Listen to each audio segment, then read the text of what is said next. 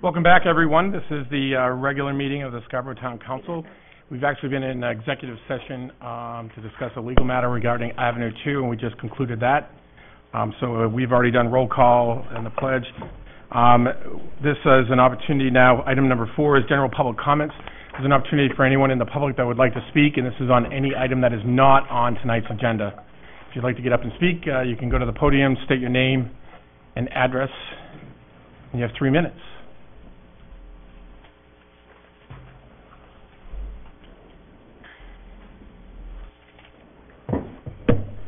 Hi, Ben Howard, Seven Windsor Pines. I'd just like to address the council again on the topic of the Divine Capital uh, proposed apartment complex on Haigis Parkway that was discussed last week. Um, Last week, and I mentioned I was very wary of the project, and I continued to do some more digging um, and some more research myself. Um, What I, what I went for last week was trying to define the difference between Connecticut and Maine, in which point I brought up the Department of Labor's average salary for Maine and Connecticut, um, 43000 for Maine and 56000 for Connecticut. Um, One of the councilmen mentioned that, you know, Cumberland County does have a higher statistic, um, and I I did go back and sort of research that myself. What I found was that Cumberland County's average salary was 51000 for males and 42000 for females. Um, In New London, that is 56,000 for males and 45,000 for females. Now, one really big difference that I found, though, when I continued to do research using the United States Census Bureau data, is that according to 2015, 39% of people in New London, Connecticut County are making over $100,000, which is the target range that Divine Capital is targeting with this. And then in Cumberland County, there's only 26% of the popula- population making over $100,000. Now, I think that's kind of a difference um, that should be discussed. That's 13%, and again, Connecticut has a higher population. Now, the second point I sort of want to bring up is uh, every time the councilman councilman tried to ask Divine Capital to sort of include Section 8 housing or to get rid of the three-bedroom apartments, uh, they, they weren't really for it, and you're even quoted in the leader saying that they would prefer to pay a penalty. In my opinion, it sounds to me that this is a Lego project that you can go buy down at your Toys R Us. You buy it, comes with all the parts, comes with a set of directions, and what you build is the exact picture on the front of it. Um, and why is why do I feel it's that way? Well, Divine Capital really believes that there's no penalty that we could come up with that would cut into their profits as much as them having to go back to the drawing boards and redo any sort of drawings. Um, there's a lot of money here to be made by them um, because it's just not a creative idea. It's I'm going to buy from the same manufacturers, buy the same nails, buy the same quantities, put it the exact same thing. Um, I would really like my community of Scarborough to be different, not something that I can just drive down to Eastland, Connecticut and see the same exact building there as I can see in Scarborough. So I, I would really urge the council here to pursue more creative ideas or to really, as this goes through the rest of the political process here in Scarborough, try to force Divine Capital to come up with new ideas or something to be a little bit more creative. But thank you for your time. Thank you. Anybody else from the public like to speak on an item?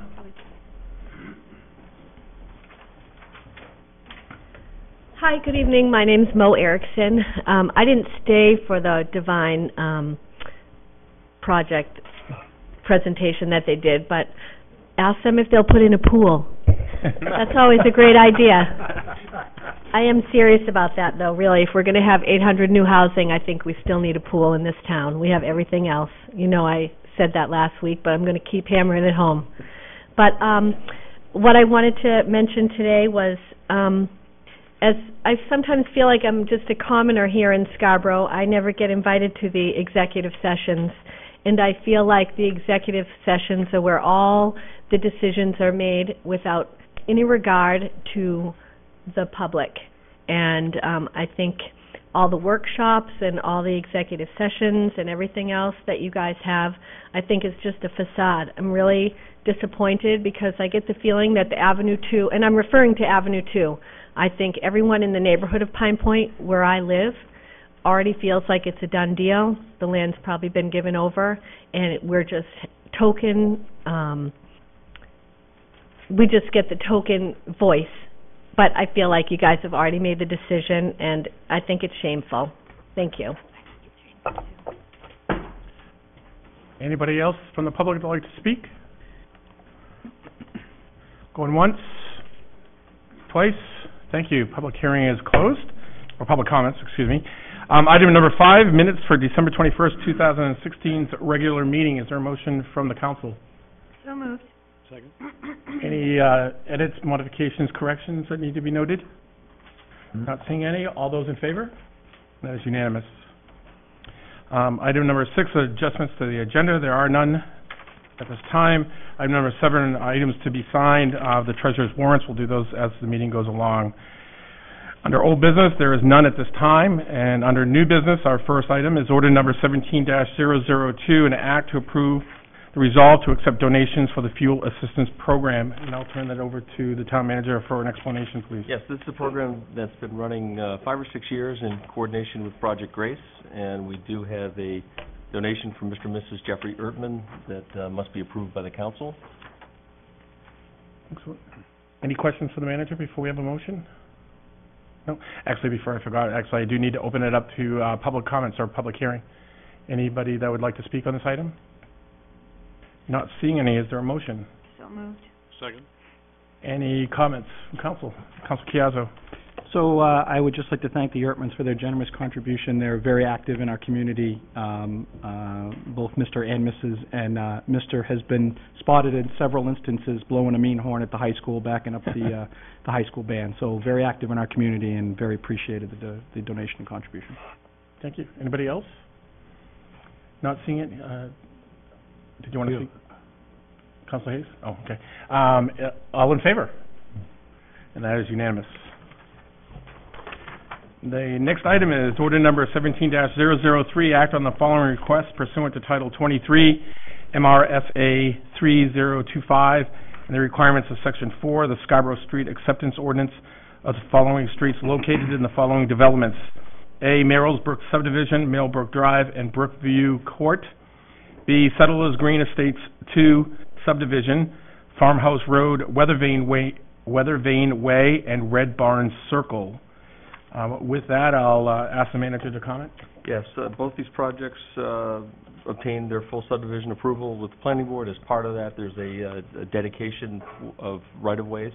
Uh, Angela Blanchett, town engineer, is here, and uh, I believe she is the one that's overseeing inspection of the uh, the installation of the public improvements and can vouch for their um, their quality. And so the final piece is for the town to actually accept them, and they become official public roads at that point.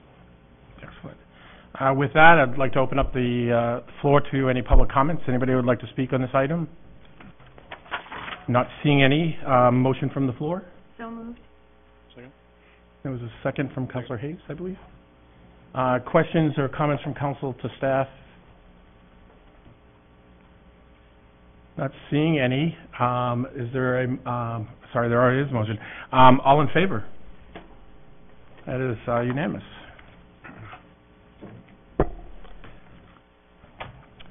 The next item is order number seventeen 4 act on the request from the Shellfish Commission to approve the allocations of shellfish licenses for 2017. Um, What I would like to do um, is to take, um, follow the same procedure, but follow it in a little bit of different order, because I, most of our uh, guests here are here on this particular topic.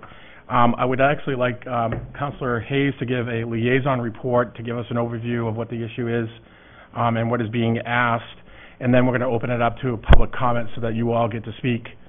Um, and then we'll, um, bring it back to the council for, uh, a motion, questions, and, uh, go from that kind of perspective a little bit differently, if you don't mind.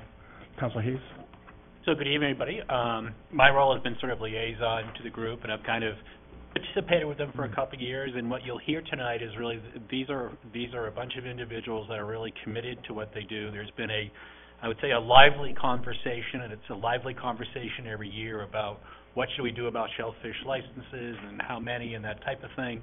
I think what you'll hear tonight are folks that, and it's there. There's there's both sides of the- discussion. I think you'll hear that tonight. There's, there's good reasons on both sides of the issue. I think folks will get up and articulate those things.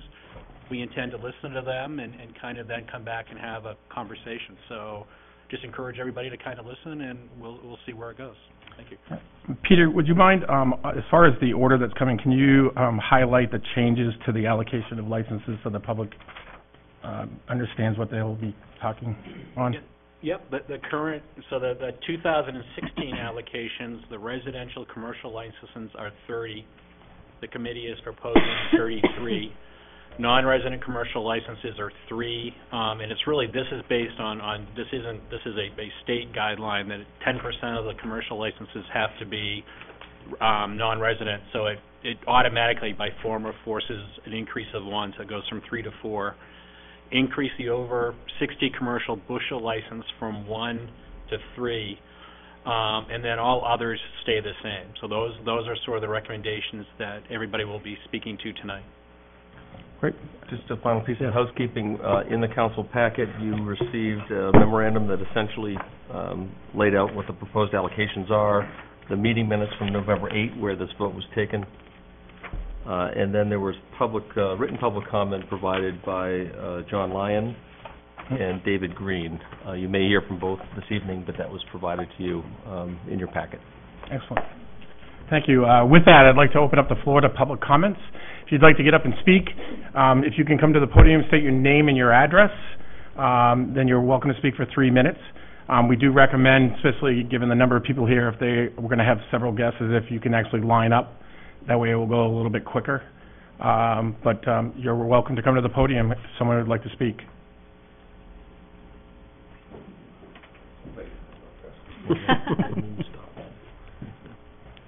Uh, my name is Peter Angis, uh, 26 Old Blue Point Road, Scarborough. Um, I'd just like to say that um, I'm in favor of what the uh, Shellfish uh, Committee has recommended. Um, first off, I'll tell you a little bit about myself. I, uh, in the 80s and 90s, I served on uh, this committee for 12 years, uh, actually 14 years, 12 of them as chairman, and then I took another stint on the committee for three more years later and served one year as chairman. Um, I agree with a lot of what, I went through all my testimony with the Shellfish Committee, but I believe a lot of stuff, I said the same thing as John Lyons said in, uh, in his letter. Um, between the both of us, John and I, we have over between 25 and 30 years as uh, chairman of this uh, Shellfish Committee, and we both supported uh, more licenses. Um, Let me just read you, the first page of the Shellfish Ordinance says that to establish shellfish conservation program for the town of Scarborough, which, which will ensure the protection and optimum utilization of the shellfish resource within its limits. And this is why I feel so strongly that, uh, that the licenses should increase. It's not just for us individuals that have done it, you know, forever. Um, I don't think it'll have any adverse effect on current license holders if there are more licenses, because there's plenty of clams out there. There are three or four different sets of clams. Um, we're not gonna dig all the big ones this next year. There'll be plenty left the following year. Um, last year, I supported more licenses too, and went before the committee, and, uh, virtually almost everybody on that committee last year said, it's too early this year, Peter. Uh, a couple others testified, John Lyons and some, it's too early. Next year, next year we'll do it. Well, we got to next, next year, and then there was still a lot of them that, that didn't want to do it. Um, I'm just saying, uh, as far as, um, you know, there's, uh, age things that has a lot to do with this. Um, like, uh, over sixty percent of our licenses are held by people over fifty. So I don't, I don't think this is gonna, you know, a few more licenses isn't gonna matter that much. Everybody has slowed down some. Over a third, about a third of them are over sixty. So it's time to get some new blood, and this is the year, I think, that we should get some new blood into the occupation. Um, you know, like I said, it says, uh, optimum use of the resource. So that's, that's what I want to do. And, uh, the other thing I want to say is, um, you're going to hear some other testimonies here, I'm sure. Um, the only way to accurately, accurately know what is out there is for have, to have surveys. And Scarborough had one survey this year. That, so that doesn't, that doesn't, uh, tell you what's out there. Um, all the other information that's gonna be presented is what has happened in the past as far as the resource. Well, that does not tell you what's out there this year or what is out there for next year. Please keep that in mind. Thank you. Thank you, sir. So, um, next person I'll get, get up to speak can go to the podium. Um, as he's, uh, going to the podium, just to mention, is, so we do have a timer. Um, being a good chair, I hope, I'm gonna give some flexibility, uh, given the sensitivity of the topic, but if you can keep in mind that, uh, you do have a time limit, I appreciate it. Yes, sir. Hi, uh, I'm Elijah Holbrook, uh, 137 Beechridge Road. And I'd like to say uh, I vote no. And I know a lot of people out there say there are clams out there, and that is true to some extent, but I can't tell you how many times I went out, busted my back just to see that I'm throwing away 80% of the clams I dig up because they're an inch and a half smaller than my ring.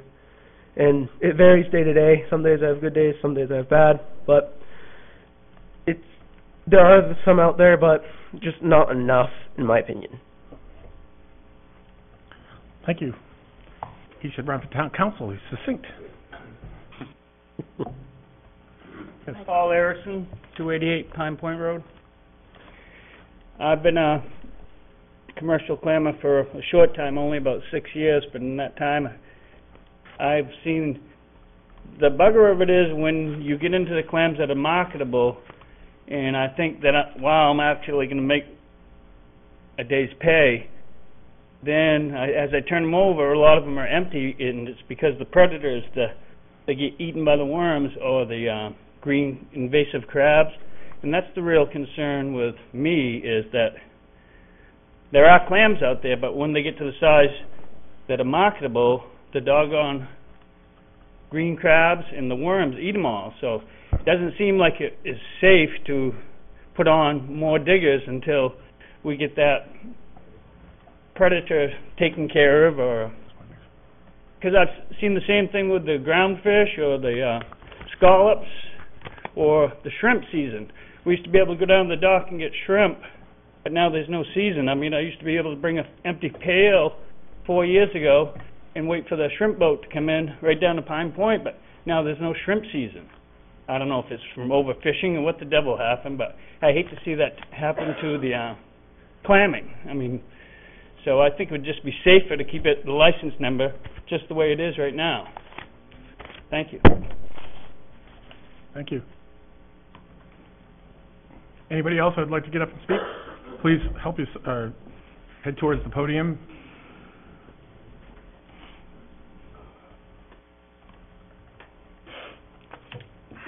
Good evening, ladies and gentlemen on the council. My name's Dave Green. I live at 135 Beechridge Road. I hold a commercial shellfish license, and I'm the chairman of the Shellfish Committee. Um, I stood in front of all of you, except Councilor Foley, last year, and told you, quote unquote, we arrived at a compromise last year. There was a lot of people that wanted to increase licenses, some as much by six. We came to a compromise on the committee, and we decided to stay where we were at and see what happens. And I do believe the packet I sent you people, with the information from DMR, reflects that we did the right thing last year. Because 2015 is the lowest landing report of the last nine years. And it's 39% below the average uh, landing of those last nine years. It's 39% below. And that was done in the last nine years with an increase of 15% in licenses by six more licenses and six more diggers couldn't pull out the average for 2015 out of the mud. I'm sorry, we did the right thing last year. And I'm going to put the bottom line up front. I hope one of you will make a motion to preserve some of the resource out in the river, irregardless of how many people think they have a right to go out there and dig. The committee, and a lot of us on it, still believe that we need to protect the resource. I hope you make an amendment to your thing and we hold the numbers the same. I was the first person I know of to come up with a landing report, to try to use some tools to base it on scientific and, and a little bit of research. I know, it's the first year it's come up, but I think that's gonna be a useful tool. We did not do a lot of, uh, landing reports last year, uh, uh, survey reports last year. What happens, we found with a lot of these survey reports, there's, there's three different sets of seeds according to Mr. Andrews out here in the river. But six months from now, those clams are getting predated on so bad from the green crabs and the milky ribbon worms, there's not gonna be a resource in, in ten years for, a- for a wild resource of, of harvestable clams. And I'm, I'm sorry, I do not believe that the committee, uh, uh, made the decision based on the data that was presented. I don't see how you can take a year that's thirty-nine percent lower than the average and start increasing six more licenses this year. I, I don't know where, where you think all this product's gonna come from, but it's not out in the river. It is as far as seed goes, but it doesn't last. We're getting predated to death. If you don't think so, go do a little research on your own after this meeting and go look up Dr. Beal, University of Maine, Machias.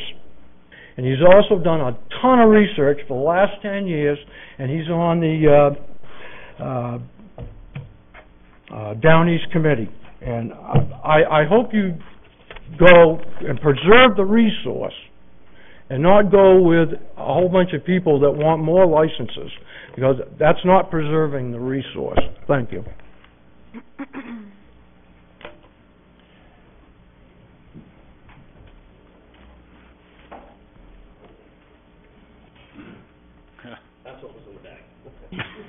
Not moving.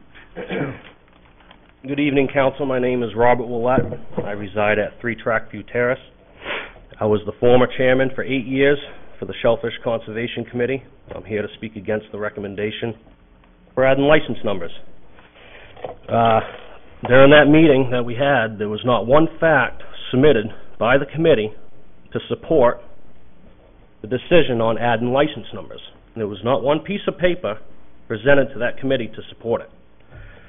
We had all the stuff that Dave Green had, and nobody took any interest to even look it over. They refused to look it over.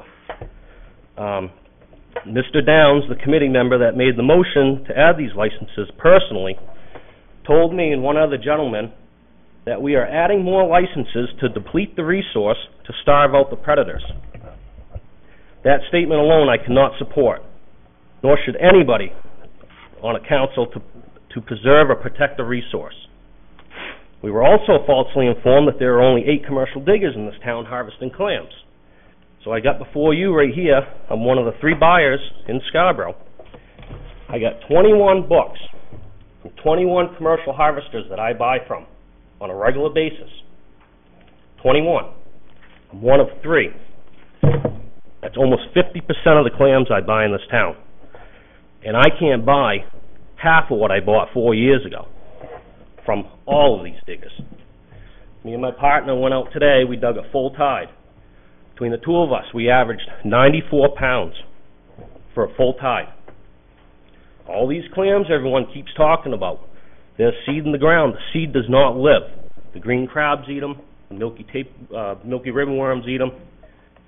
And then you're just left raking up the remains of it, which is ninety-four pounds. Um, so if you look at the facts that were presented to you tonight by Dave Green and myself, th- there's no way that you can support an increase in licenses. It is, it is not there. Um, I've worked with this committee, I tried to work with the committee. Uh, I just ended up being a foot soldier for them, that's all I was. Every time a vote, you know, vote on licenses and stuff like that came up, my opinion never mattered. Sometimes I was even shut off, even when I was the chairman. Sometimes I wasn't supported to bring certain facts up. Um, and that's what's wrong with the committee. The committee's broke, and something needs to be fixed about it. Um, Thank you. Uh, Anybody have any questions? I hope I didn't come off too strong. I'm really nervous, and I'm just trying to get it all out there. All right, Thank you. Thank you, guys. Thank You- you- you- There's no, Any questions? there's no Q and A. No Q and A. You have a question? No, no, good. Comment, Q and A.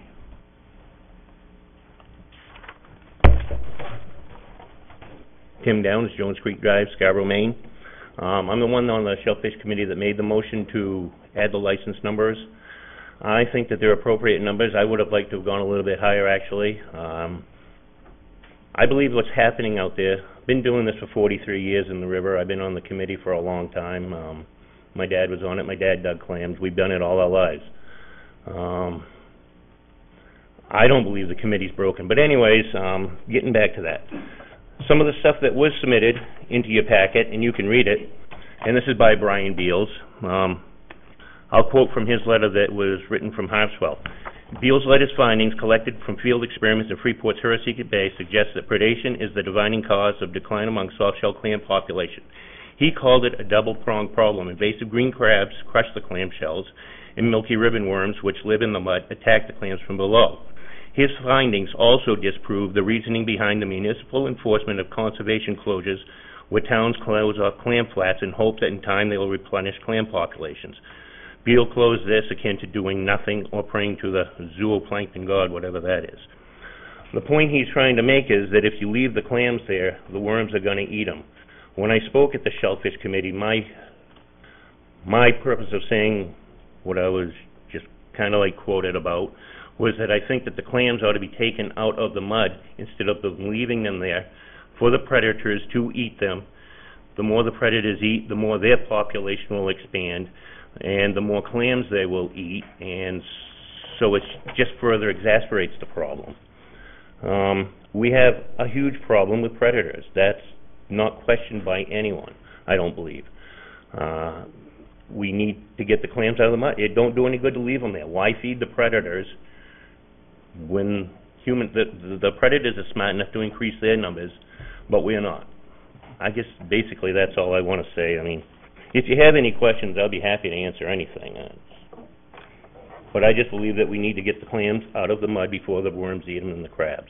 We're taking a crap care of the crabs pretty much. I mean, we've got a very aggressive crab program here, and Ann Roy was right. He's very, he's done a stellar job with that. He's point on. Um, but the worms, no one knows what to do with them.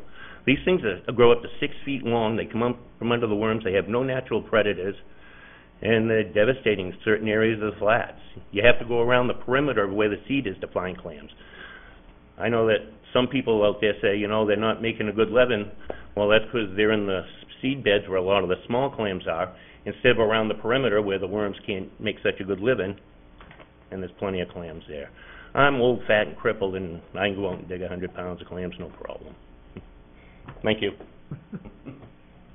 Thank you. Anybody else?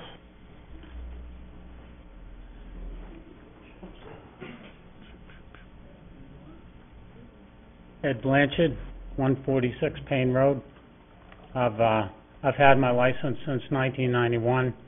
I didn't start digging full-time until about ten years ago.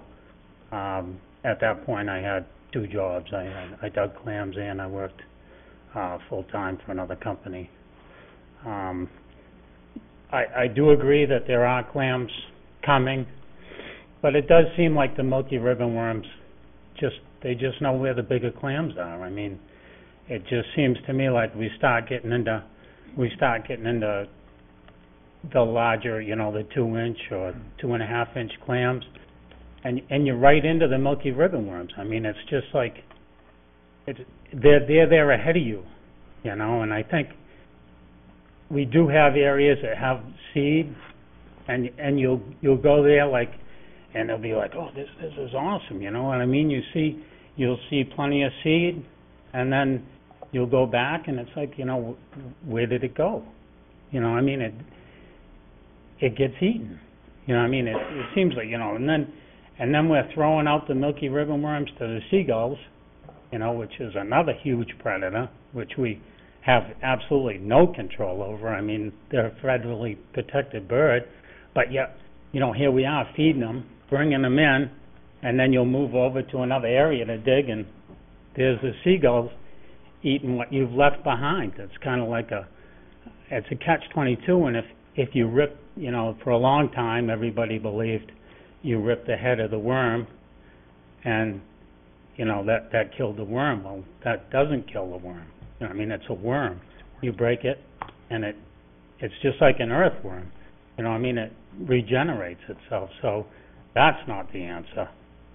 But I don't think over digging and adding more licenses is, is a good idea, because we have, we have a set, we have, a- I think we have a pretty good set number of licenses already, and, and some towns are, are taking back licenses, you know, and I certainly don't wanna, I certainly don't wanna go down that road. You know, I mean, I think, I think the, the number of licenses we have right now, I would be fine with, you know? But adding more licenses, I'm, I'm opposed to. Thank you. Thank you. Anybody else?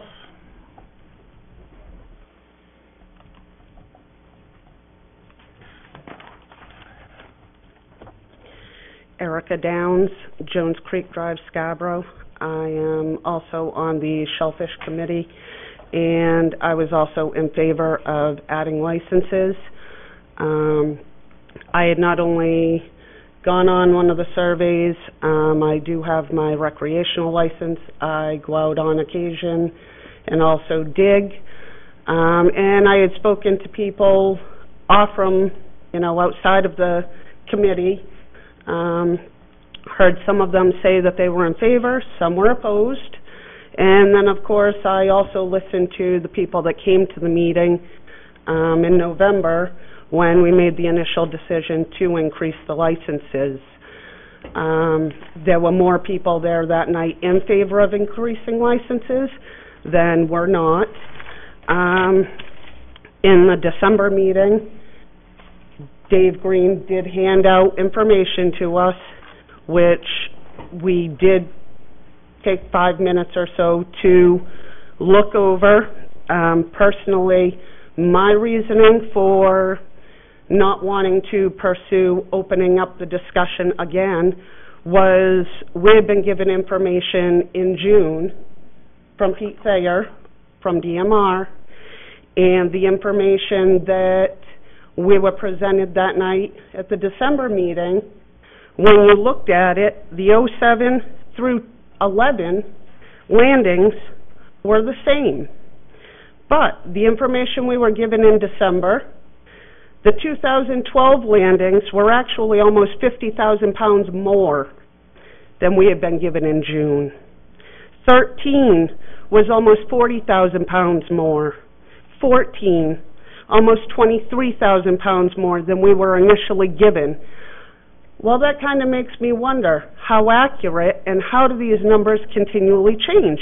Not to mention, in 2007, the numbers that we were given in June and in December both matched, but yet, back in January 13th of 2009, the Working Waterfront Pilot Program, the numbers that were given at that time from DMR for 2007 was actually 2,000 pounds less than what we were just given in June. So I have a hard time going with the landings reports, even though they're coming from DMR, when you're looking at years later, they're still not getting the numbers correct when you're asking for them. They continue to change. So that's why I have an issue with looking at those landings numbers and going according to that.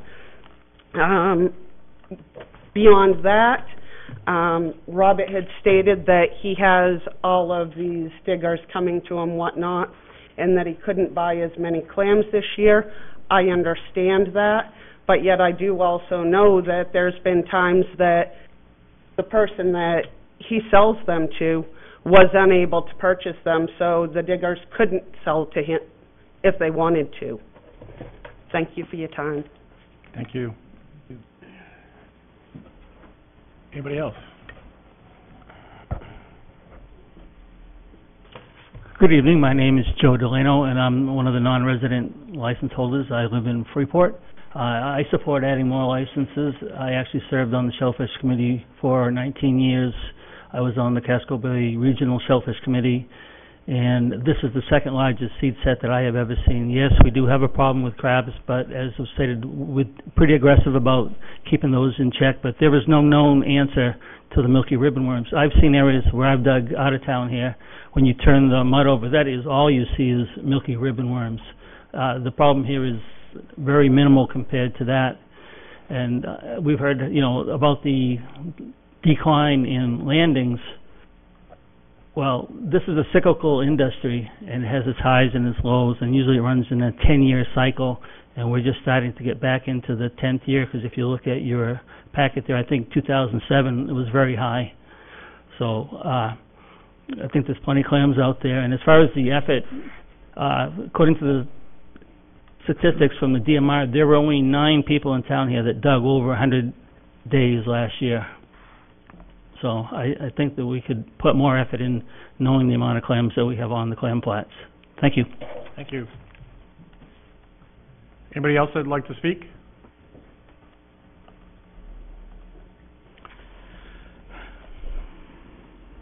Wow, that just blew me away. Nine people. Huh.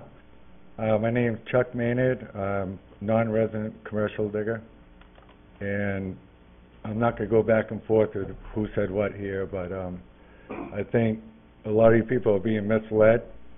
I've been digging in the town of Scarborough for twenty-eight years. We do not have the big set that some of these people talk about. Um, I do believe that we should leave the numbers alone. We don't need to over-harvest and devastate our clam flats. This is not about just today. It's not about just next year. It's about the resource for our future. And a lot of these guys that are talking are talking like a year from now. I'm talking about the future. We have an opportunity to save what we have. And instead of going back and forth and every year we come back to you guys saying, please don't add more licenses, these same guys that wanted four last year are asking for more this year, a year later, after we've already dug a lot of the clams. It just doesn't make sense. And then last year, we got the lowest on record, and none of it makes sense. So I think if we all put our heads together and come up with a solution to take care of this idea, and the only thing I could come up with, and I think it's a pretty good idea, that if, in fact, we do get this big set of seed in the future, which, by the way, Joe, there's not such a thing as a cycle. It, this stuff doesn't happen in cycles. It's Mother Nature that kicks in, and if we're lucky, we might get seed from another town. But it's not a cycle thing. That's what us fishermen believed in years ago. It used to be a seven-year cycle that we thought. Now, supposedly it's ten. It's not a cycle thing. It's all just a thing of Mother Nature. So what I have come up with is, if we do get lucky enough to get this big set of seed, is we should, my opinion, issue, I call it a seasonal permit. Meaning, if you get this big set in two years, those clams are coming too, you might be able to issue five seasonal permits, we'll say from June till September, and harvest those clams, because what happens is, when you get these set of seed, that set of seed is not lasting forever. It's only going to last a couple of years, literally, because especially if you add too many licenses, after two years, you've had, you have way too many diggers. I think we personally have too many right now, so if we can try to sustain what we have right now, we could definitely save the source in the future. This is not just about next year. Clam, two-inch clam can only last for so long. And so hopefully you all listen to all the facts that were presented to you. I think Dave Green's done a wonderful job. I think Robert's done a wonderful job. And hopefully it just continues. We really, it's up to you guys right now to say, hey, enough is enough. Let's think about solving the real issue. And by every time somebody, every time you get the small set of seed, there's always somebody like Peter Andrus that wants to get everybody riled up and say, oh, we're, we're, we're going to issue four, six licenses. It should not be done that way. If you manage it the way I just said, seasonal permits in the future, that way you could sustain all your regular diggers, plus you can add in licenses in the near future. And then if, if that was to happen, each and every year, we can go back to it and say, can we, can we issue four more senior, you know, sen, um, issue more permits?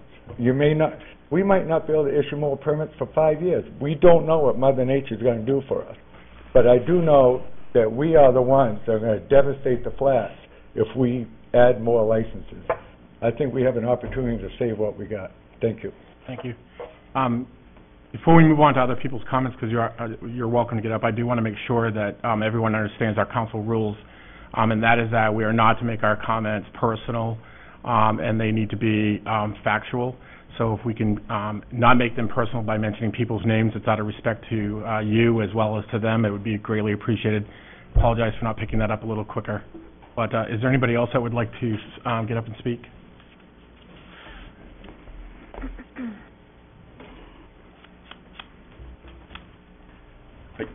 Dwayne Rope, twenty-four Church Street. Got a commercial plan license. I don't agree with it. Um, more licenses. The crabs out there are bad.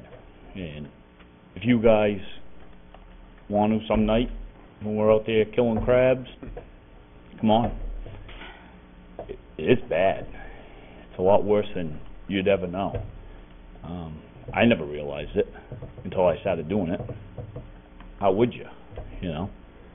So, yeah, there is a lot of predators, and we're probably right at the top, but the crabs are, are bad, so, that's all I gotta say.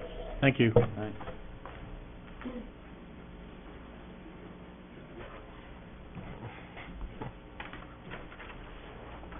Hello, my name's Dennis Violet, 32 Ocean View Road. I'm a former harbor master, 15 years, a commercial clammer, commercial lobsterman. I've been on the flat since I was six years old. And what I, why I want some more licenses, I think that we need some younger blood in this racket. You can look around this room and see everybody's got gray hair or no hair. And I think we need some uh, younger guys to come along and dig some clams. Last year, there was two licenses given out, and those two people dug zero clams, not one clam. So I think three more licenses or four more licenses is not gonna hurt a thing. That's all I got to say. Thank you. Thank you. Anybody else that would like to speak?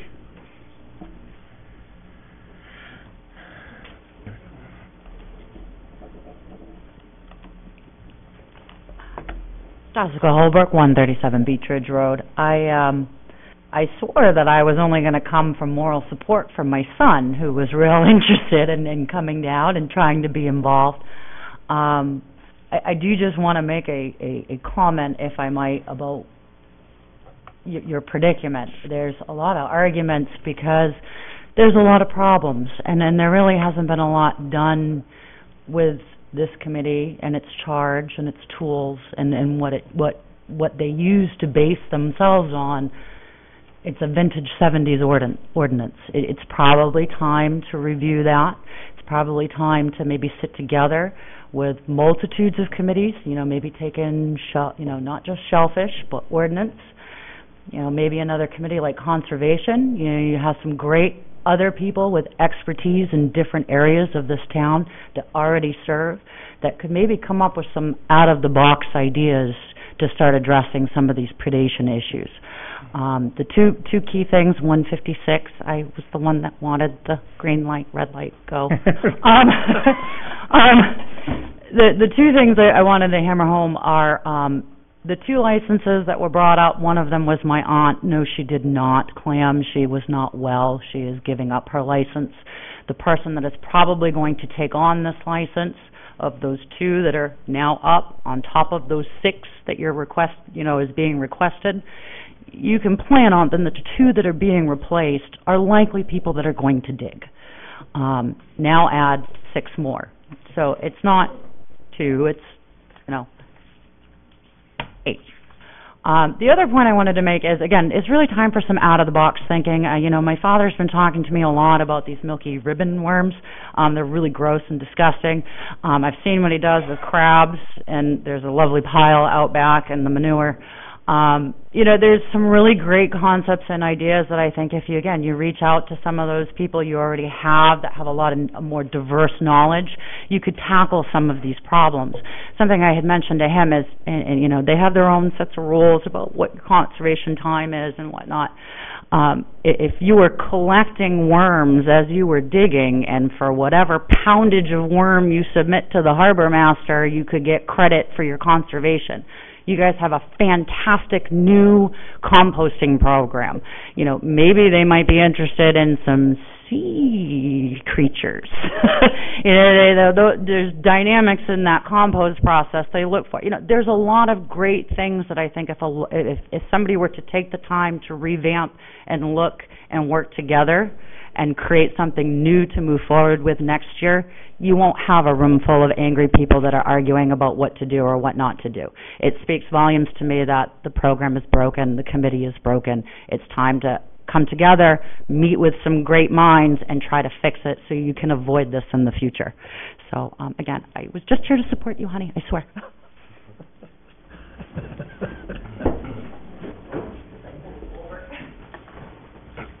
Hi, Mo Erickson again. Um, I don't know much about clamming other than the fact that my husband is a clammer and I have two student, two of my sons are, um, hold their commercial student licenses. And I know that, um, they work very hard. And when they say they dig a tide, that's about six hours worth of back-breaking digging. Um, and I know that, um, they wish there were more clams out there than, than what are out there. Uh, Oddly enough, this little, this little magazine came to our house the other day, the, um, the, it's the newsletter of the Maine Clammers Association called the Clam Whistler. And, um, one little part in here, I, as I said, I, I don't know about, much about clamming, other than, um, I know that there are a lot of pre- there are two major predators, the green crab and the worm, but people also have to factor in, um, red tide and runoff pollution from that, um, pollution that comes from pets in the area, uh, the horses and stuff like that. But the other thing I wanted, that they put in this little magazine was, um, that the clamming is not cyclical, and because they can't predict, um, with confidence or certainty what landings will be there in three years because of the weather and climate change, and they attribute the, um, it says that, that the rise and fall based on juvenile mortality rates associated with water temperature. Unfortunately, temperatures are consistently increasing and do not appear to be re- returning to historically normal temperatures. So I think that's something that we have to consider. Um, with climate change, I, I don't think that between the predators and the warming water, that it's going to be favorable for more clams. But this was just a good little introduction for a non-clamming person. Thank you. Thank you. Anybody else that would like to speak? Go ahead. Yeah, my name is Ed Obarb, 12 Phillips Street here in Scarborough. I've had my license about 15 years now. It was a little slow bit of a start to learn how to do this backbreaking job. And I would say, you know, five, ten years into it, you know, it, I was progressing, getting more and more of a yield. But in the last five years, it seems like I work harder, longer, and the yield has just gone down. No matter how hard I seem to get out there, either they're too small, or they're not there, or you're just chasing them around. So, you know, Mother Nature has her way of doing things. And I think it's a little premature right now to think about adding any new licenses just because, you know, you know, whether the facts are right or wrong as far as the past landings of five years on the decline and last year being the least, and I, I would tend to believe that if it's been published, there's got to be some facts to it. So I just think it's a little premature to think about adding licenses this year. That's it. Thank you. Anyone else that'd like to speak? Not seeing any. Um, I'd like to turn it over to the council for conversation. And what I would like to do is actually, if, if you don't mind, I'd like to actually invite um, Marine Resource Officer Ian Anderson to the podium, um, maybe to give uh, a staff uh, overview along with the town manager's help.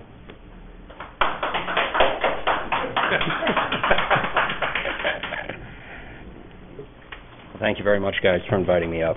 Uh, I didn't know I was a local celebrity like that. Um, first thing that I like to mention, first and foremost, I care about conservation of the resource. I don't, income is not something that affects anything I'm thinking about here, which I understand is always in the back, back of somebody's mind when they're worried about a resource like this. Uh, one thing that stuck out to me, and Peter actually mentioned it first up, is that very early on in the ordinance, um, it tasked me with ensuring optimal usage of the resource available. Um, Now, that doesn't mean that I don't need to protect it at the same time. So, get out my talking points here. Uh, We've been presented, both the committee and myself, with large amount of factual data from DMR, and while flawed at times, we don't have much else to fall back on. DMR is the ruling authority in shellfish, um, well, marine management in the state. Uh, Their landage numbers are what we have available to us, and at times, they barely have them available to themselves. Um, However, there's not any data other than the small number that Mr. Delano presented of year-round diggers that indicates um, anything in support of adding the number of licenses that have been presented to us. Um, Moving into April, when we re-auction licenses or re, uh, re-lottery licenses, we'll have two available, as it is if we add none. Uh, That being said, if we add the number presented, then we'll be faced with eight new licenses and what could at times, depending on who you talk to, be considered an uncertain year. Uh, There were no rainfall closures summer of this year, and rainfall closures, for those that are unaware, if we get more than one inch of rain in a 24-hour period, there are certain regions in the Scarborough River and uh, and Nonsuch River that will close down um, for at least 14 days. So if those are closed down, they greatly affect the area available to others to harvest. Um, Now, Dave mentioned Dr. Brian Beal. Um, He's done a large amount of research coming as far south as Freeport. And if any of you have followed in recent years, Freeport and Brunswick have been decimated heavily by both green crabs and milky ribbon worms. Uh, Those are, in my eyes, the biggest threat to our industry here in town and um, many across the state. Um, Our clammers here pulled over 3,500 pounds of green crabs out of uh, our clam flats in town, and that's no insignificant number, with um, 43 being the total number of commercial licenses required to do conservation time. Um, Now, based on all that, uh, if it were down to me to recommend something to the committee, uh, I believe that we do have enough available that we could add one license in addition. And that license addition, for those that are unaware, Title 12, 6671, if we have more than, well, it's a 10% rule, let me say it that way. It's a 10% rule for every number of diggers that we have in town, we have to have at least that many out-of-town uh, commercial licenses. So as, now we're at 30 resident licenses, we have to have three available. If we were to go to 31 resident licenses, we would have to go to four uh, non-resident. Now, that four non-resident could stay that way until we hit 41, because we would still be over that 10% number. Uh, I think adding those two licenses, in addition with the two that are coming up, will provide us with more people available for conservation time, um, and will ultimately be supported. Now, that comes with a bit of a caveat, and I take responsibility for this this year, largely. Um, we really were lacking in the survey department, and that gives us a strong lack of regional data to base a lot of info off of. Uh, So in the coming year, up until we decide licenses for next year, um, I would like to see and like to be involved heavily with increased numbers of surveys, including different areas throughout town, or throughout the, throughout the clam flats, as well as possibly bringing in outside research from uh, universities like UNE who have a strong marine biology program, and I know they've been involved with the aquaculture companies we have here in town. And we have, like Brian Beal from University of Machias, uh, this is something that a lot of, a lot of undergrads and graduate programs are looking at right now. And I think it should be, well, maybe not easy, reasonable to find somebody that wants to undertake this project. Uh, And I think with all those things considered, that I'm very confident in my, my recommendation. Excellent. Other than that, I'd like to thank you for your time. If Thank there's you. any questions, I'd be happy Yeah, to. if you, if you don't mind, are there any Oh, of questions? course. Are there any questions from counselors, uh, for Officer Anderson? Counselor Caiazzo? So, um, one of the questions I have is, it's, it, are we the only community that, uh, keeps licenses in perpetuity? Are there other surrounding communities that have licenses expire, or is that not commonplace? The license setup that we have is actually dictated by DMR. So our uh, shellfish ordinance, everything to do with our municipal shellfish management, ultimately comes back to DMR. And so even after tonight, our license numbers will have to be approved by them. Um, That being said, everything is very strongly controlled by a central, central agency in that. um, Largely speaking, they take recommendation of the council seriously, um, as they don't have the time to get to every, every field and accurately research. Um, But no, we are not the, the only town that has the license structure that we have here. Thank you. Other questions? I just want to clarify, because there are a lot of numbers thrown around by a lot of different people. Um, so what you're suggesting is an alternative, somewhere in the middle? Somewhere in the middle, yeah. I, I do believe that the number thrown out originally is a little high, um, but at the same time, I believe that there is room for growth, small growth. Um, that being one resident commercial, one non-resident commercial, for a total of, that'd be four licenses that are lotteried this year. Thanks, just for clarification. Can, Counselor can you compare that to what is the recommendation of the Shellfish Committee, so that we have the numbers clearly in our, Sure. our head? Yep, uh, so initial recommendation was three resident commercial. Uh, I'm suggesting that go to one. Um, And that would lead with the same ten percent rule I said. In addition, you would have to add the non-resident commercial. Um, There was also two over sixty licenses, um, looking at adding. I believe that the, that deserves a little more communication. The over sixty license in this town is a commercial license. They are allowed to sell their clams as opposed to a recreational license. They are, however, limited to one bushel, so that's all they can dig in a tide. Um, The over sixty license, I think, is a safe addition in that they are limited to one bushel a day. Um, And I, again, I come back to it, I believe that the added hands when it comes to conservation is worth the extra toll on the flats, um, which I actually believe would be minimal for them anyway. And so they were asking to add two of those licenses. And y- you agree with that, or you think that? I could be- agree with that, yeah, I, I believe that while the toll would be minimal from the over sixty licenses, I think the extra hands and conservation makes up for it. Any other questions, Counselor Donovan? No, thank you. Okay, Counselor Rowan? Yeah, just for, for clarity, for, um, pardon my ignorance, but how, could you approximate the, the weight of a bushel when, when people were referring to, Um, they were talking about weight? It used to be that a bushel was a volume measurement, um, but now it's fifty pounds. Thank you. Correct me if I'm wrong. Okay, there we go. They will. Anybody else for questions for the officer? I have a question. Um, so, and I'm gonna just reference, um, in an article that was published last year during the lottery for, I think it was just one commercial license, there was a comment that was made that said about half of the license holders dig clams full-time, but the other half don't. Mm-hmm. So, let's assume that we give no more licenses. Sure. What guarantees that there's gonna be more digging?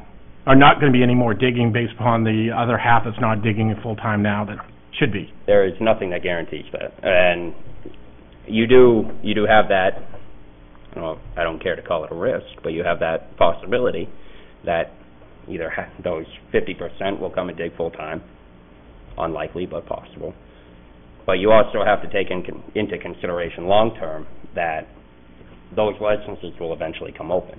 And should the fifty percent that are active now stay active, then the fifty percent that are inactive possibly go to more active uh, harvesters. And all of a sudden, you've got your full gamut of fully active harvesters and your ten to fifteen to twenty past Mm. where you were initially operating when you set a new license number. Um, So the, the reason why I was asking is that, so that means that also you can extrapolate and say that the three that are being asked for by the committee or the one that you're recommending, nothing guarantees that any of them are gonna actually dig. Yes, yeah, correct. There, there's no guarantee of that. Okay. Um, but again, on the same vine, there's no guarantee that the other fifty percent won't. Right. Um, Right. Course. And the last question I had is regarding uh, just the, the commercial license, and Mm-hmm. I used to be a liaison, I should have learned this a long time ago, but are they, are they um, grandfathered for lifetime? It's like a lobsterman's license? Yes, unless the committee chooses to reduce licenses, which I'm, to, to be fair, to plead my ignorance, I'm not actually certain how that process would work out. There are probably multiple ways you could do it, whether you chose. We won't go down that path tonight, don't Sure, worry. yeah, yeah, yeah, okay, but, um, except for that situation where Yep. it's decided that you need to reduce license numbers, yes, it's a, Okay, as long as you do your conservation time and pay your fee. Yep. It's yours. great. Any Or other move. questions? Nope, no other questions, thank you All right. very much, Officer. Thank you very much for your time, guys, appreciate it. Uh, So with that, to uh, open up conversation for the council, there should be a motion. What I would like to ask, um, out of, because I understand that there might be some amendments, I would like to ask that at least the motion is the recommendation that came from the committee, because it was a democratic process that was undertaken, and out of respect to their, um, that recommendation, we should start from there and then either add or, or uh, um, uh, deduce from that point, if you don't mind. So um, I would um, accept a motion as recommended by the committee. So moved. Second. Uh, Comments um, from the council? Counselor uh, St. Clair? Yeah, um, do you want me to wait? Do you want me to get my comments and wait? I do have a motion, uh, amendment, um, but I want to take your lead on how you want us to do that. Um, That is up to you, Counselor. Um, I would like to put a motion on the floor, amendment on the floor. Um, I'll do that and then give, uh, if I do receive a second, Yeah. then I'll give my comments as to why I feel that should be in place. Um, I'd like to move, uh, make a motion to move approval to change the 2017 proposed allocations to 31 resident commercial licenses, two over 60 commercial, uh, sorry, bushel licenses, and keep all 2017 proposed allocations that came out of the committee the same. Is there a second? I'll second it for the purposes of discussion. Thank you. Um, can I Go ahead. give you my, so, um, I was already on that path before the officer stood up and gave us his reasoning behind it. Um, I'll be very frank, I, at the beginning of this, when, when we first opened this up and I started, you all started giving your opinion, I was, um, more inclined to, um, I don't think I've ever not taken a committee's recommendation. Um, when I was reviewing the literature this week, though, um, I did notice that it was close at the committee. Um, it was a three to four, almost a split. Um, and I feel strongly that that committee is in need of some work. Um, there are some bad feelings out there. Um, watching and listening um, and reading the literature, this is not, this isn't how you guys want to be. I know that. You are not these kind of people. Um, some of you got up to speak, and others of you were speaking while they were speaking. I mean, that's just so inconsiderate. Um, and it's not, I know you. I've been working with you guys for years, and that's not how you want this to be. I know that. Um, you guys are hard workers. I mean, I probably want some of the hardest workers in this town. Um, you deserve to be recognized for that. But you also need to come back together. You got to come back to the table and put some of this aside and figure out how you're going to come together to get rid of some of these problems. Um, this is your livelihood. This is how you take care of your families. Um, I, I, you guys are some smart people. And I know if you work together and work with the Marine officer, there has to be a way to deal with this issue with the worm, which, by the way, is disgusting. I mean, I don't know how you do. Honestly don't know how you do it. Um, I, I feel strongly that we've got to come up with a, um, a compromise here. I understand why some of you don't want new ones, totally understand that, and I understand why, understand why some of you do want new ones. I do think there needs to be some more young blood. You've got some of that in the audience. Work with that. He's got friends. I mean, we all know that. So bring some of those friends to the table. Introduce them, take them out. You're inviting us to go out. Take some of these kids out. Show them the love of that. And I swear, sometimes when you teach them, they will come back. Um, and so I, uh, along with the Marine officer, I feel like this is a compromise. Um, I know that it doesn't make everybody happy. Unfortunately, we never make everybody happy. I hate that feeling. Um, and I'll probably walk out of here tonight questioning myself as to whether this is the right thing or not. But I do feel strongly that we have to come to a compromise. Um, and I think this is a compromise. Again, I'm not, oh, I, I've never been comfortable not taking a committee's recommendation because you are the experts.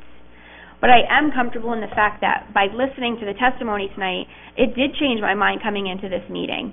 Um, and, and listening to, you're the experts. Um, I don't have any clue as to what it's like to go out there and bust my hump every day like you do. So in that sense, I think it's important to at least give a little bit. And then we take this, we take 2017, let's get the data for next year. And if this doesn't work, I think it's important that we get on this a little bit earlier. Not you, us, not you, because you've been working on this for months, but us. Bring us into it earlier so that we can be aware of what's going on and maybe mediate a little bit. I don't know. But I do know that none of you want to walk into a contentious meeting. None of you are like that. You're hard workers. You know what it's like to have to work for your families, and you should be rewarded for that. I could probably go on and on, but I'm going to stop there. Any other comments or questions regarding the amendment? Councilor Rowan? Um, how, what, what are the mechanics of this, uh, in terms of the amendment? Do we have to vote on the amendment before it can be re-amended, or? Yes. Okay. Thank you. I, I was just looking for clarity. What, I, I understood resident commercial license thirty-one said, and what did you say on over sixty commer, did you say two or? Two. Two, okay. And just for clarification, based upon um, Officer Anderson's comments on the non-resident commercial licenses, we'll have to increase to four because you've gone over the 30 threshold, so that's actually amended as part of that. At least I- that's how I understood it. I or thought it was, needed. isn't that what's was propo- proposed though on the 2017? It is. Yeah, so that's what I meant. So anything besides those Oh, I apologize. Yep, I asked apologize. to keep the same as the recommendations out of the Okay. com- committee. Thank you. Councilor Caiazzo, you had a? No. Councilor Donovan? Can I get a clarification that, that what we're talking about uh, in the amendment is to go one resident license as opposed to three? Correct. That triggers a second license because of the ten percent rule. Yes. So that we're now at two, as opposed to what would have been three plus one, Correct. two versus four. Correct. And the other two are the over sixty in age and have restrictions on volume. Correct. So that's, okay. And that's what your, That's correct. so your motion to amend was intended to reflect what Officer Anderson said? Correct. Okay. So just, so it's five versus eight. Correct. Higher math, I'm really good at it. It's four, Four. four versus eight. Four versus, You get six. How do you get? No, it's, Uh, One. One. Two, Four. three, four. It's four versus Four six. versus. They're, they're two licenses that Right. are gonna be re-lotteried. Right. oh, the other, the- But but that's, those so not That's to, not included in that. Sorry, I- that's why I was just trying to make, Yeah. get sure we're clear. so for That's not point, of point of that. information purposes, the two that the officer as well as others have talked about that are um, up for lottery this year are part of the existing licenses and are not under consideration because it's part of the 30 that have already been allocated. Correct. Just So I do, I do have comment. Um, I, reading through the material and hearing the testimony tonight, this is clearly a, uh, divisive issue that's, um, split that committee. Um, then there are strong feelings on, on both sides. I understand the need for young blood. Um, but I've heard enough to be very concerned about the health of the fishery. The, I think that it's a lot harder to take away licenses once they've been allocated than it is to add more licenses. So from a risk perspective, while we might be okay adding licenses this year, I, I feel like there's a lot of risk to, to adding those licenses. And I, I have a great deal of respect for everyone who, who stood up and, and advocated for, um, adding licenses and, and for, um, um, and on the committee that voted for it. Um, but I, I just feel like we're, it puts us in a bad spot where if that's the wrong decision, it becomes much harder to, to take corrective action in the future. Um, and so I'm going to support the amendment because it's less than the six, um, but then I'm going to offer an amendment to go, to stay at the 2016 levels. Thank you. Counselor Donovan? You know, uh, as a group, uh, you guys were probably one of the best groups of representative speakers we've had. Uh, every one of you spoke as people of good faith. I really, I, I gotta say, uh, I can see you're passionate about it. I can tell you, uh, the seven of us are probably the worst seven unqualified people to make this decision, but it's our job, so we have, we have to make a decision. We can see the Solomon-esque aspect of this thing, uh, that, you know, you're kind of splitting the baby. I hate to do that, and the, you guys put all the effort into analyzing it and come up with a decision. Uh, I do think, though, that there is a whole series of risks involved in your business that need to be taken into account. How to best address them is not clear from listening to the dozen or so of you who spoke. So, uh, I'm, I'm left at sea a little bit on this, uh, but I think being more cautious, and I think probably I would say the way in which we issue licenses could be reviewed so that, that maybe right now this idea of 15 are active and 15 are inactive and the risk of some of those becoming active, it just, it, it makes the situation impossible for all of us as to, as to what to do about uh, whether we're being prudent or not prudent in, in this decision. So uh, reluctantly, I'll support the amendment, but I don't know what the answer is. Counselor Foley? Uh, I'd agree with a lot of what Counselor Donovan said. Um, I grew up in a family of deer hunters, and, uh, and I grew up in Michigan, so nowhere near an ocean, nowhere near clam flats, and I don't know if I'm swimming with worms ever again. So I may be ruined for the river swimming, but, um, or I'm gonna have to find out where exactly they are. uh, I, it, what's interesting for me is I had two calls prior to tonight's meeting, and both of those calls were in favor of. I had not heard uh, a lot from folks on, on both sides, so I, I, I thought the arguments presented tonight were um, compelling. I like the fact, uh, I like the amendment as given. Um, it gives a little bit to everybody, and I, I learned something from a former counselor once who said, and I believe it to be true, um, when everybody leaves a little bit unhappy, sometimes that's been your greatest success. So I will support the amendment, um, and then I want to learn a lot more about how the process by which we uh, d- make the decisions for increasing and decreasing, because that doesn't seem to be really clear for me, um, and that is probably my own learning curve. So, um, but thank you all for coming out. I think citizens being engaged is critical and important. Counselor Hayes? Yeah, I think I'll kind of come full circle to where I started from. I've sort of been, you know, involved in the conversations I go along, and I think what you heard tonight, or as I said earlier, and I think it's been echoed by all the other council members, um, your passion came through. I think you're all have talked from the heart about what you think the right things are to do. But what became really clear in this process, and I think you've heard it tonight, is we just don't have a lot of good metrics or analytics to be able to make good decisions. And I, I think the question some of the other counselors asked about how do we decide when it's time to increase licenses or not? What do we base it on? I'd really encourage, and I think, you know, uh, you know, Councilor St. Clair really talked about maybe the, the, the community going back, and you heard a little bit from, from, from Jessica Holbrook too, about thinking about how, different processes for looking at how you, you discuss these issues, how you think about how you, what, what the metrics are for how you decide when you're gonna open the flats and open licenses and those types of things. Um, I think there's issues around what do we do with licenses if there is a resource issue.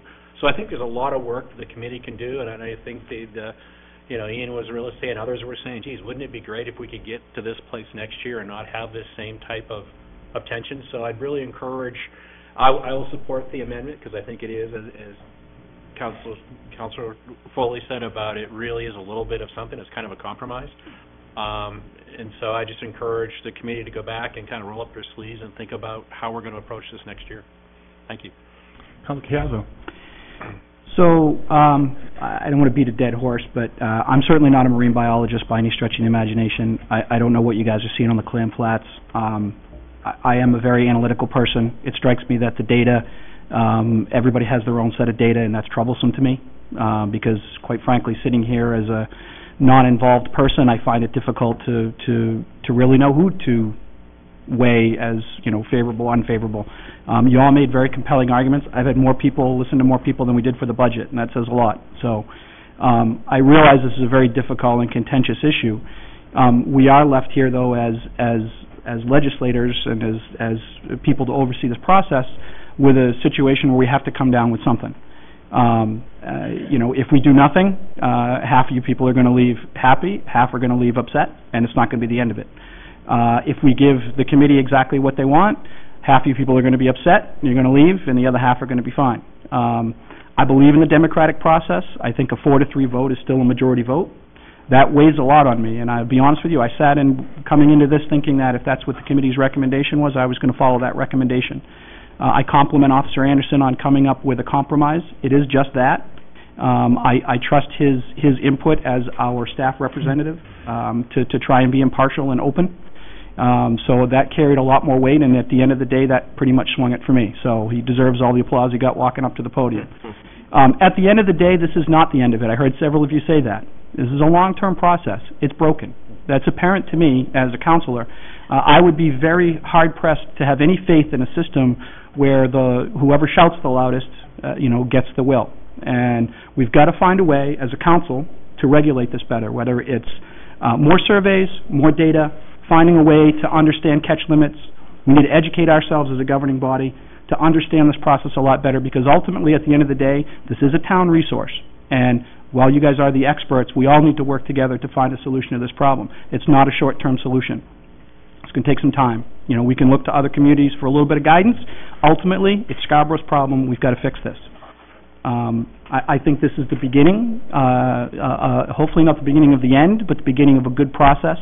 I don't expect this to go away until April. I expect this to be back in our, our, our radar again very, very shortly, um, because this is obviously means a lot to a lot of people and, and to us as well. So I'll support the amendment um, as a compromise. Uh, I, I think it's it's uh, a good short-term solution, but it's not the end end all be all. So uh, I'm going to take some of you guys up on that nighttime crabbing thing. I, I'm good at holding a flashlight, but you know I, somebody's going to have to get me a set of waders because my bean boots aren't going to cut it. I know that. So. Uh, so I will support the amendment, but I, I think uh, we have a lot of work to do as a council and as a community to fix this problem, for sure. So, uh, to keep in mind, this is an amendment on the floor, so the primary motion still has not passed. Um, I do want to make a comment, but I would like to actually vote on the amendment, and I'll make a close, I'll make at least one comment at the, the main motion. There's no other questions or comments on the amendment. Um, I'm going to call a question. All those in favor of the amendment? And that is unanimous. To the, uh, to the main motion as amended. Um, any other comments before I make a comment from the councilors? Council Rowan? I'd like to offer an amendment. Okay. Um, I'd like to, uh, change the allocation, uh, shellfish licenses to hold at the 2016 level. And is there a second? Second. Discussion. Any, co- Council Rowan? So, um, I think as, as I expressed, I just, I feel like there's a great deal of risk to the livelihood of uh, all the speakers that we heard here tonight, um, that if we make, by making a hasty decision, um, it is much harder to undo, um, and that, that it's just too risky at this point to, to increase the number of licenses. And while I respect that we had a, we have a democratic process and a committee that looks into this, and you guys are the experts, um, I've, I've seen enough to be convinced that, that now is not the time to increase the number of licenses. Council Caiazzo? So, uh, you know, uh, I, I firmly agree with the first do no harm concept and the first do no harm approach. And uh, if I hadn't heard all the testimony tonight, I would tend to side with you and say, what do we got to lose by just keeping the status quo? Some of the things I heard that I found rather interesting was that you do need to turn the mud. You do want to get more people in that are going to actively dig. So I think by doing nothing, um, in essence, that is a decision, and, and that's not necessarily a decision on the right side either. I think it's a good, the compromise is a good, just that compromise. It gives an opportunity for some new people maybe to come in, turn some of that mud, get some more exposure to the flats. I don't think it's catastrophic if we've made a bad choice this year with that we can't correct. Uh, certainly in April, or we, you know, worst case scenario, we can enact some kind of ordinance to address any catastrophic needs. I don't think we're at that point. It doesn't sound like it from everybody on the flats that we're in dire straits, and if we don't do something now, we're going to lose it. Um, so I, I, I, I agree with you. The first do no harm approach is, is vital. In this instance, I think by not acting, we, in essence, could be doing harm, better, more harm than good. Council Foley? Um, and I would go back to one of Councilor Caiazzo's earlier comments in that when I, you know, coming into this, I was pretty sure that I was going to support the committee's recommendation um, uh, to increase to 33. So I like the compromise um, because it also, if I understand correctly, and someone correct me if I'm wrong, the the way we boost at the that 30 level. So even if we got it wrong this year by the one, and taking that back, it wouldn't change that non-residential, right? Is that correct? So we're, so it's going up because we're at 31. Correct. Mm-hmm. Right. But let's say next year they decided they wanted to increase it by three or two. It sounded, what I heard was, there were several years of conversation around increase, increase, increase. They didn't increase. Um, but if they wanted to increase next year for whatever reason, uh, to get to the third level that was proposed today by the Mhm. recommendation, it wouldn't increase that other non-residential, That's because right. they would have already hit that threshold. Okay, so I'm pretty comfortable with that, uh, and it get, for me, it gives that committee time to do, as Councilor St. Clair said, to regroup, to come back together, to work together. Um, so I'm pretty comfortable with the amendment as it is. Any- Any other c- comments or questions on the new amendment? Not seeing any, all those in favor, raise your hand. That's one, all opposed, that's six. Any other comments or questions on the main motion? Council Donovan? Uh, i- It's just because I think we need to move forward. Uh, Some of the problem is obviously the basis on which decisions are made at the committee level. Science and data uh, are, have been often referenced. Part of it may be that the ordinance is outdated and is, isn't giving you the guidance that you need or, or is restricting the way in which these things are being issued in a manner that is getting a bad outcome. And that maybe is kind of the ordinance committee side of it. Uh, I think the committee, the Shellfish Committee needs to work on what it thinks it could recommend for improvements and changes. Uh, I also think everybody who resigned ought to withdraw their resignations and get back to work, because you're the group, you're evenly split, uh, and, and you, and you need to be able to present some ideas to the, uh, town council and perhaps to the ordinance committee that would allow us to improve the situation going forward. But that would be my, my sense of where we ought to go with this thing. Could I, could I ask a a clarifying question? What would happen if, if this measure were not to pass? Then, um, the- it would actually, prob- I would suggest that it would then go back to the Shellfish Committee, and then they would have to make a new recommendation, because they are required to make a recommendation by law. Okay, thank you. Is my understanding, if I'm not, That would seem reasonable. I, I believe the officer was shaking his head yes. Um, any other c- comments? Um, so I'd like to share just a couple of, on the overarching issue. Um, first, I think that, um, having served here for so many years, um, I don't believe that the Shellfish Committee is broken by any stretch of the imagination. It was broken 20 years ago when they used to gather outside in the parking lot waiting for the lottery to open up the next day, and there was all kinds of things that happened. Um, so this this committee and this community has come a long, long way, in which a lot of you have been a big part of that. I don't believe it's broken. I think what it is is that we have some members that are simply unhappy with the decision of the majority that's on that committee. One way of changing that is changing how you communicate with each other. The other is um, becoming involved, and every year there are um, um, seats that open up or um, renewals of existing memberships, and there's always a struggle to get members on that committee. Um, so there's always an opportunity to influence that by putting in your application to be a member of that committee. Um, I agree with Councilor Donovan. I really hope that uh, the two or three members who have recently resigned, which, by the way, that means there are three positions opened up, would withdraw from that and go back to the table and work at coming up with a better relationship, but also a better solution. Um, sorry, that threw me off. Um, um, the last piece, um, is, um, you know, I, I do rely very heavily on the committee's recommendation in areas in which I know I'm not an expert, um, and never will be.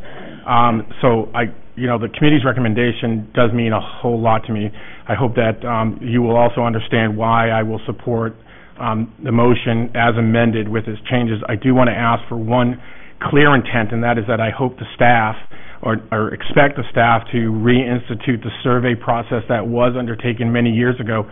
I believe it was a three-year process where they took one-third of the clam flats every three years and audited them to determine what the real population was, and that obviously needs to come back because the data, first of all, the data will never be predictive. It's going to be historical, um, but at least it will be better than relying on um, data that comes from all different areas of the state and within the town that has different opinions. And, you know, um, as we've learned on the council, you can have the same data interpreted in two different ways, making two different arguments, and you know, don't know what really what's what's correct. So I really hope that that surveying piece uh, comes back, and I do want to thank um, everyone who has commented. It's been very, very important. Um, so I am, I will vote in favor of the amend, uh, the motion as amended um, to move this forward. So if there's no other questions, I'd like to call the question, and all in favor of the motion as amended, and that is unanimous. Thank you.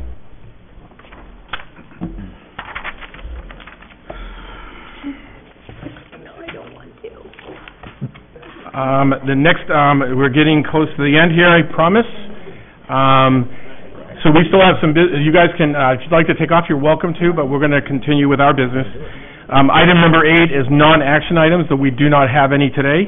And item number nine is standing and special committee reports and liaison reports from counselors. And I will start, um, where did I start last time? I'll start with Council Caiazzo. Uh, so, appointments, uh, appointments met. You want to give a recess, or do you want to keep going? Yep. If, um, we're gonna take like a, uh, five-second recess. Folks, if you can take your conversation outside, would like to really appreciate that very much. Thank you.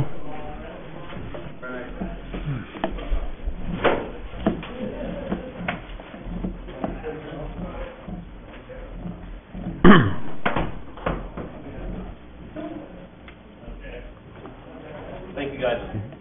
See ya. Ian? Ian, you want to just take it outside, please? Thank you. He's the only one I can speak to Goodbye, like that. Why do you pick the guy who's got the gun to holler? Great, with that, uh... No one else would listen to him. Thank you. Back on to, uh, standing and special committee reports and liaison reports, and I'll start with Council Caiazzo. Sorry, so, uh, appointments met earlier, um, un- under, under, uh, new management, if you will. Um, so we had a pretty heavy slate because it's the new year and there's a lot of turnover. Um, we had a total of one, two, three, four, five action items that I will, uh, enter now into the, into the record. Uh, first one is for Board of Assessment Review. Uh, we had one applicant, Jean Marie Caterina, um, and we moved her to a full voting member with a term to expire in 2019.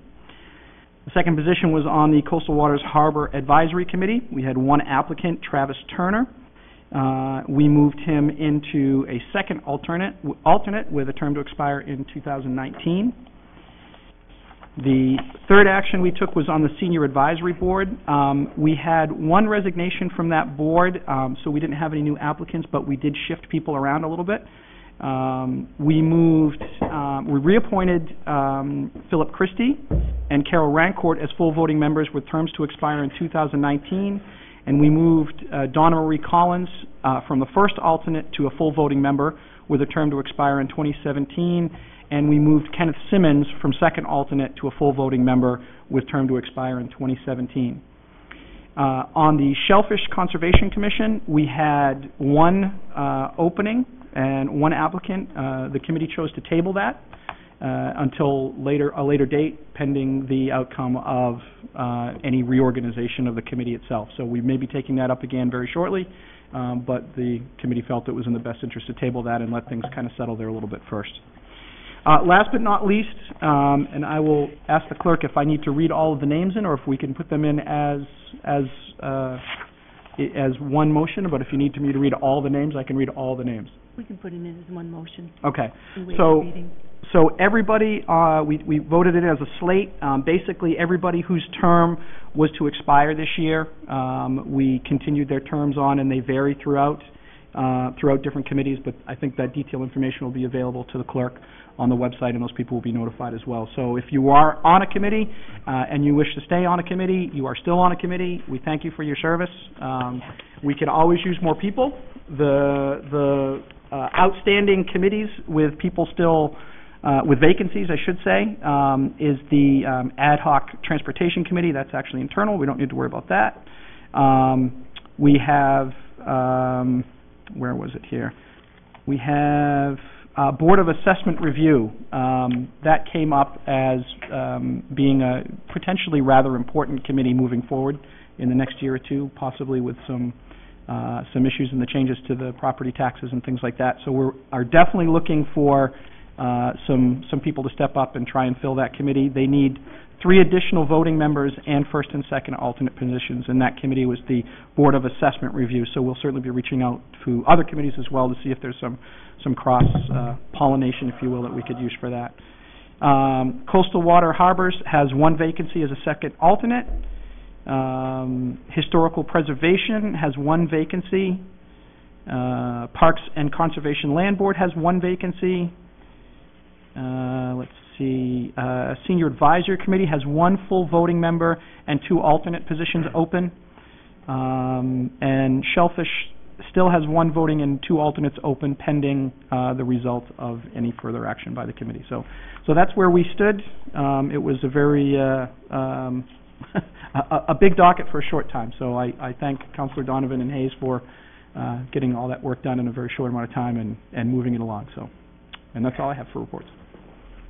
Councilor Hayes? Yeah, just quickly, um, public safety, there's really no updates. We haven't met since the last time we talked. And then two, I will just pass out to all of you, um, the finance committee meeting calendar and sort of the joint finance committee calendar with the, the, the Board of Education. So these are the dates and calendar, and just pass that out. And I think the dates and times are on the, on the town website for those that are in the audience that are interested in, in participating. Thank you. Thank you. Councilor Donovan?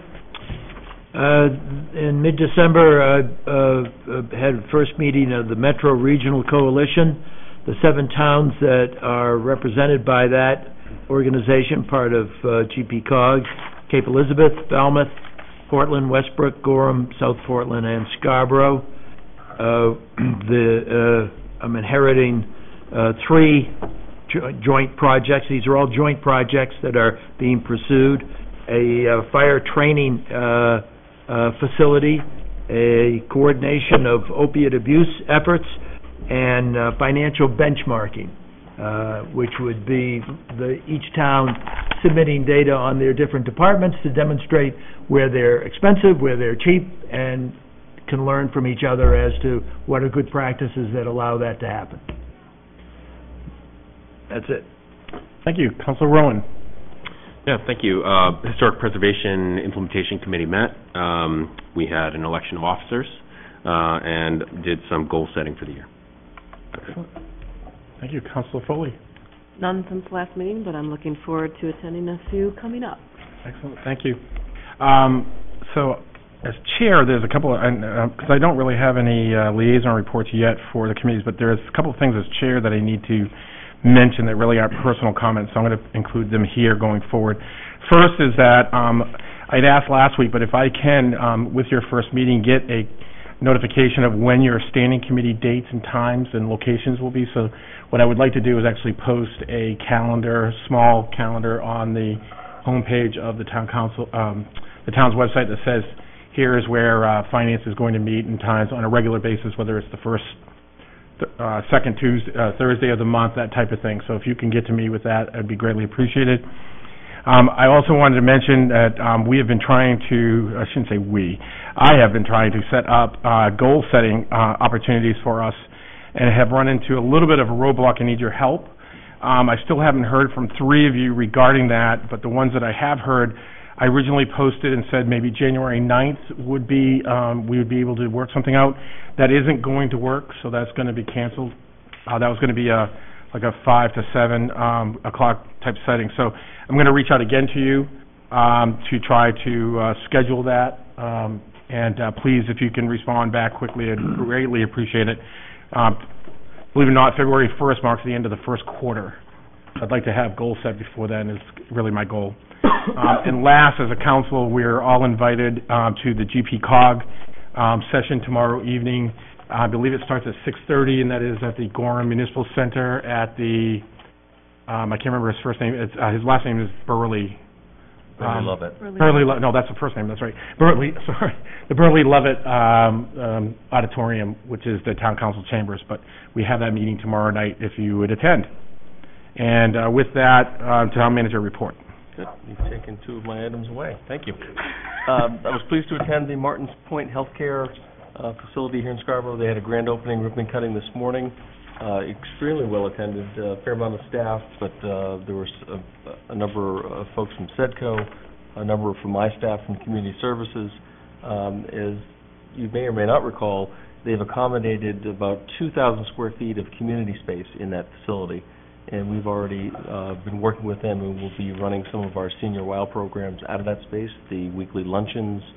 Um, There's a couple of other standing programs, as will uh, Southern Maine Agency on the Aging is going to be using it in a similar kind of frequent um, fashion, and we hope and expect to kind of grow that usage as well. Uh, Beyond our use, it's uh, billed as being generally available for community use, so um, I think they're going to need to work out their logistics uh, of, of how that all works for them. Um, but just a, a wonderful facility, and I was certainly pleased to be part of that, um, that whole process. Carol Rancourt, on behalf of uh, the Senior Advisory Committee, was also there and, and provided some remarks. I want to report that uh, we did receive good news on our workers' comp insurance. We're part of a risk pool, and because of our participation in what's called a leader program, we get an 8% credit, which amounts to $33,600 twenty-six dollars. And on top of that, a dividend of about 17,500. So it's about a fifty thousand dollar reduction on our workers' comp costs. And um, you saw at your places this evening, the audit is in. I'll be working with Chairman Bi- Babine to schedule a joint uh, presentation for the council and the Board of Education to meet with its auditor and receive the financial reports. Uh, And lastly, Winterfest is scheduled this year. Um, It was looking good until recently, but I'm still hopeful. It's scheduled for Saturday, January 14th, with a makeup date of February 18th. And we're certainly hopeful to get that um, accomplished uh, on January 14th. Thank you. What are the times, Tom? I'm sorry. I believe it starts at noon for open skate, and then activities will run through the afternoon until five. Great. Um, council member comments. I'll start with, uh, Councilor Foley. Uh, just one. I also would love to see a pool in Scarborough, particularly now that they have talked about these lovely worms. Um, I think my triathlon training in a pool would be fantastic. So I'll leave it at that. So Mo Erickson, I'm gonna work on that pool.